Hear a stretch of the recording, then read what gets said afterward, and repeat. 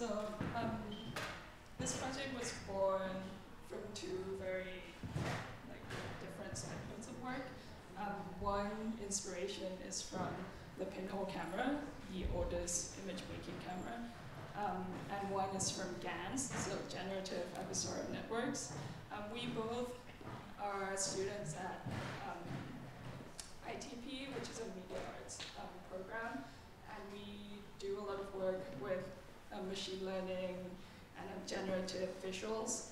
And while we were doing that, we realized that it was, although it was very cool in generating um, a lot of different visuals, it was lacking the sense of, we actually we didn't know there was lacking the sense of emotional connection um, until we started taking a class at the photography department where we learned about the pinhole camera.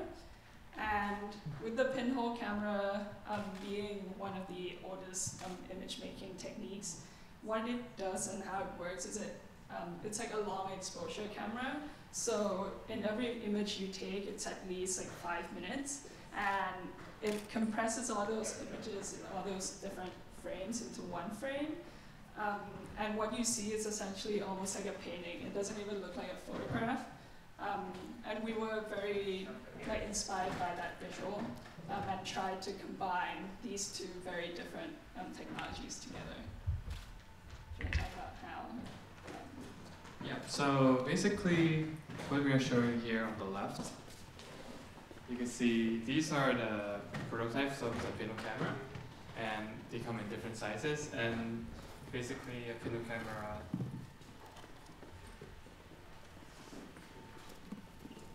So, yeah. So this is a pinhole camera, and the way, this is actually the lens, if you can see the little um, pinhole, Pinhole? here. Yeah. And um, what we do is we put paper in the back of the camera. It's just a like an empty cardboard box, and close it. And the way it works is we we then open the lens and let the light in. And wherever the light hits the paper, it becomes black, and wherever it doesn't, it's um, still white.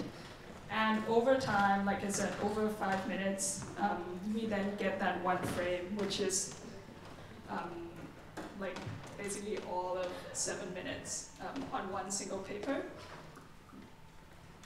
And then we try to simulate this process, but u- uh, using a digital process. So basically what you're seeing now, uh, these photographs are the analog and the digital prints of the result that coming from this, which is a video generated by a GAN.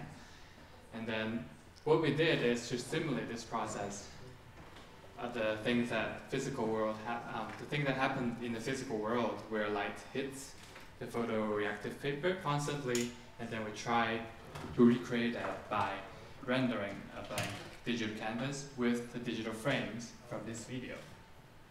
And then by doing over time, exposing over time, we would sort of get this digital pinhole photograph. And then we print it out and then take it to the darkroom and did the analog, the traditional analog photograph making process. And through this way, we could sort of give this emotional impact or the aesthetics or textures that you can see or observe in an analog photograph. But its content is entirely digital based. So you can see like these tiny detailed like bleeding effects. And also, if you come here,